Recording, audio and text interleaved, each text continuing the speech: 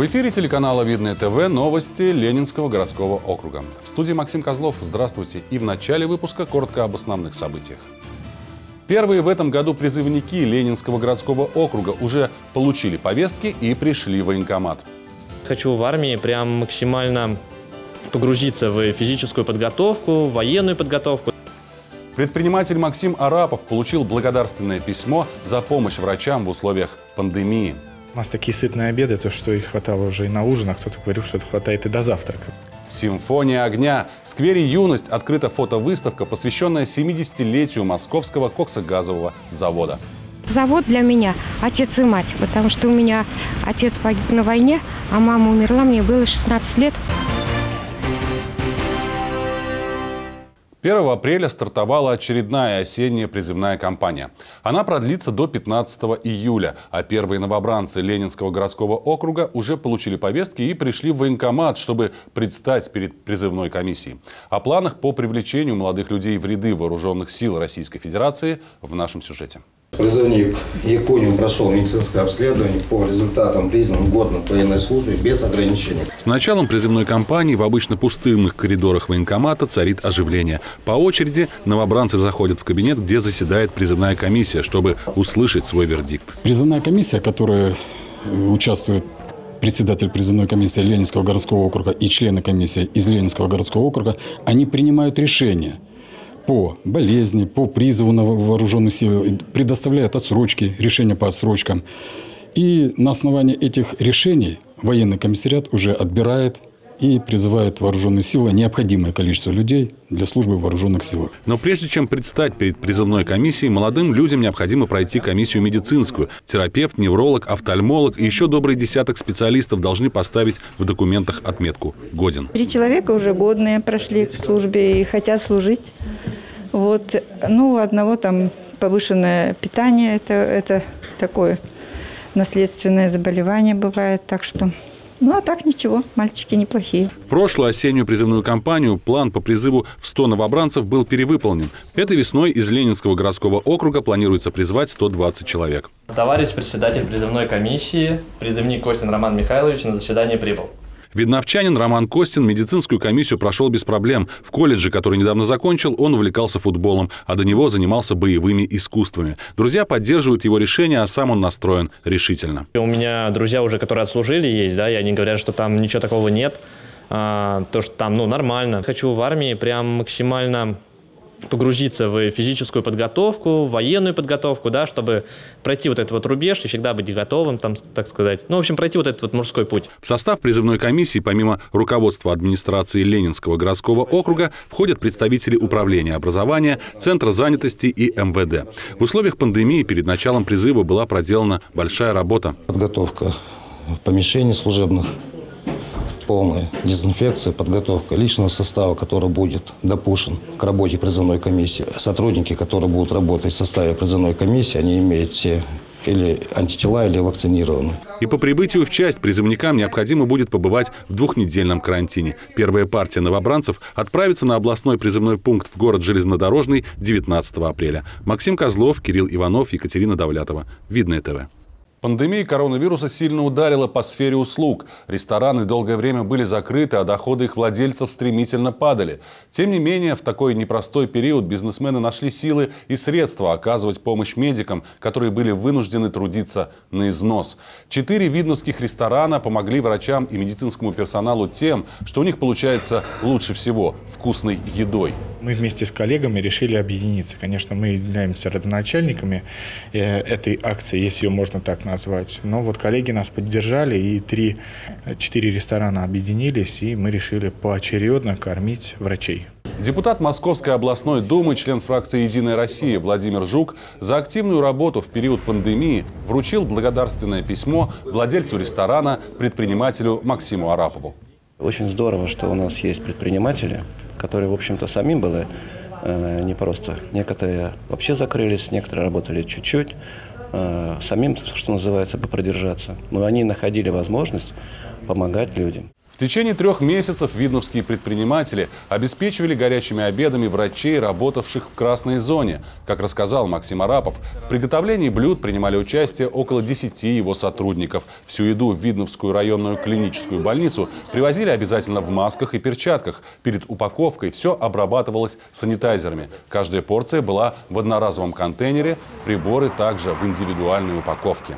У нас такие сытные обеды, то что их хватало уже и на ужин, а кто-то говорил, что это хватает и до завтрака. Поэтому делали все достаточно сытное и добросовестно. В рамках проекта «Волонтеры 50» депутаты посещают предпринимателей Московской области и награждают благодарственными письмами за оказанную помощь в период борьбы с пандемией коронавируса. 1 апреля в Ленинском городском округе прошли прямые выборы в молодежный парламент при Совете депутатов Ленинского городского округа. А накануне народные избранники областного и муниципального уровней встретились с кандидатами и обсудили их планы. О нюансах работы парламента и людях, которые решили встать на путь общественной деятельности, расскажет Юлия Погосян. Молодежный парламент при Совете депутатов в Ленинском городском округе был создан в 2019 году. Срок полномочий – два года. Созыв подтвердил свою актуальность. Ребята продуктивно поработали, взаимодействовали с народными избранниками и с жителями, доносили до власти просьбы и предложения со стороны подрастающего поколения. В 2021 пришло время обновлять состав.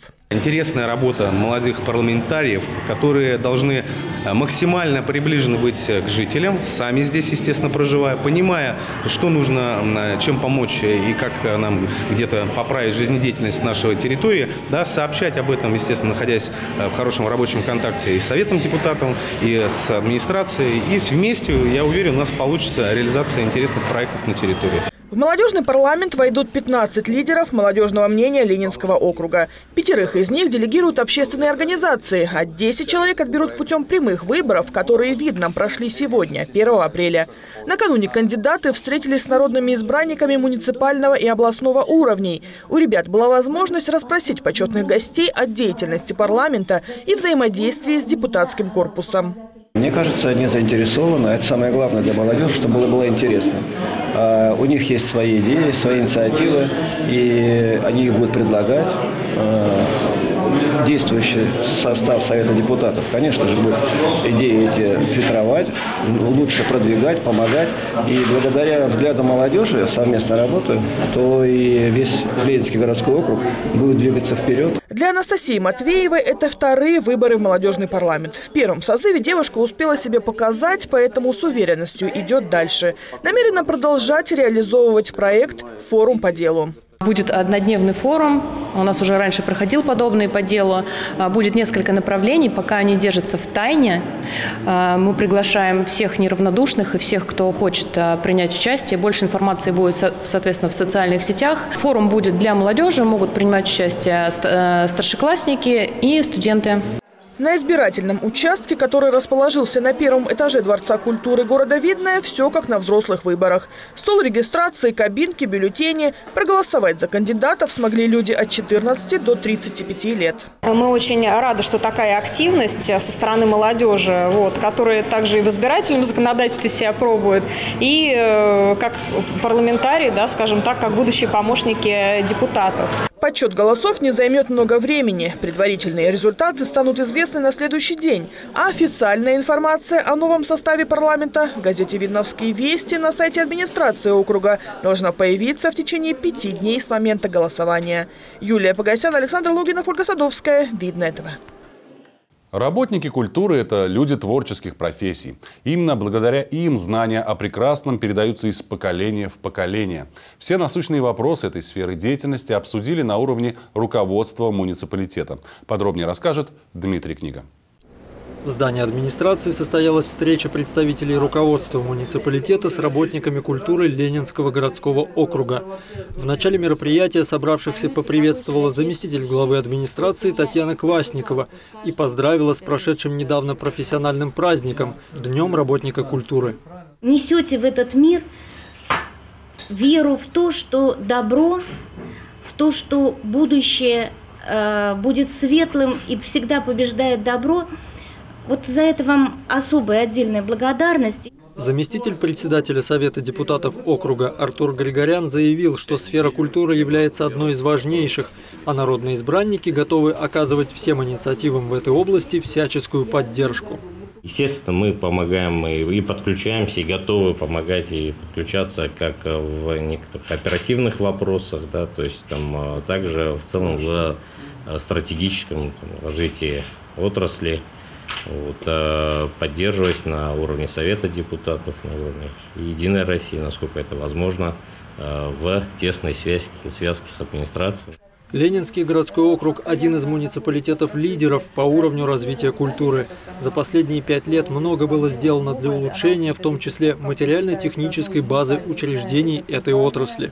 Работают 32 учреждения культуры. Из них это 10 культурно-досуговых учреждений, одна централизованная библиотечная система, в которой входит 16 филиалов, 4 детские школы искусств, один парк культуры и отдыха и один кинотеатр «Искра». Среди тех, кто развивает это направление деятельности в нашем округе, заслуженные работники культуры, лауреаты всевозможных премий. Люди, увлеченные своей профессией и способные повести за собой других. Планах руководства обустраивать новые культурные досуговые центры. Особое внимание уделять территориям новой застройки.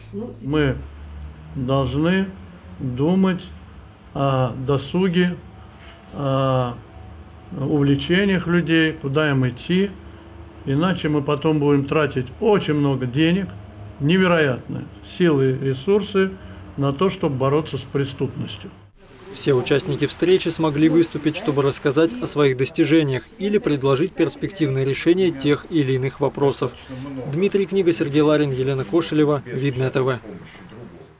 В сквере «Юность» открылась фотовыставка, посвященная 70-летию московского коксогазового завода. Экспозиция под названием «Симфония огня» подготовлена сотрудниками районного историко-культурного центра. На открытии побывала наша съемочная группа. 48 фотографий, рассказывающих об истории московского коксогазового завода, по традиции расположились на четырех выставочных стендах в сквере «Юность». На первом стенде у нас э, показано строительство завода после Великой Отечественной войны. А дальше у нас показаны на других стендах и праздничные будни завода, и празднование десятилетия завода. А на последнем стенде уже показана современная жизнь завода, как он процветает, а, как э, происходит преемственность поколений. Организаторы экспозиции под символичным названием «Симфония огня» – сотрудники историко-культурного центра. Таким образом, они хотели поздравить заводчан с 70-летием градообразующего предприятия. На выставке представлены фотографии из фонда ИКЦ и личных архивов жителей города Видное. Часть снимков принадлежит работникам Москокса. Основная заслуга и задача этой выставки – показать историю завода, поскольку история завода напрямую связана с историей, с историей города Видное. Поэтому основная, э, э, основной посыл – это донести и показать, как раньше жил завод, какие люди работали, потому что многие работники завода – это жители, основатели города. Узнать на фотографиях себя и своих коллег, вспомнить трудовые будни и досуг после тяжелой рабочей вахты особенно приятно ветеранам. Юрий Смирнов отработал на заводе 29 лет в одном цехе. Пришел после института газовым мастером, потом газовщик, вернее, газовщика, потом газовым мастером, потом начальником смены. Вот, вот с этой должности на пенсию ушел. Особенно впечатляют фотографии, показывающие, как много женщин участвовало в строительстве завода. Они укладывали асфальт, были тоннельщицами, арматурщицами, а затем и остались здесь работать. Анна Нечаева почти полвека трудилась на предприятии. Сначала в центральной заводской лаборатории, потом диспетчером. Завод для меня отец и мать, потому что у меня отец погиб на войне, а мама умерла, мне было 16 лет.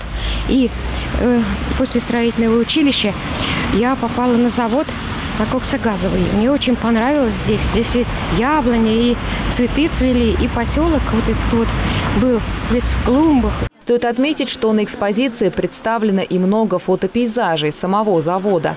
На них показан масштаб производства и красота промышленного процесса. Выставка в сквере «Юность» продлится до 7 мая. Наталья Буслаева, Александр Логинов, Ольга Садовская, Видное ТВ. Это все новости на сегодня. С вами был Максим Козлов. До встречи.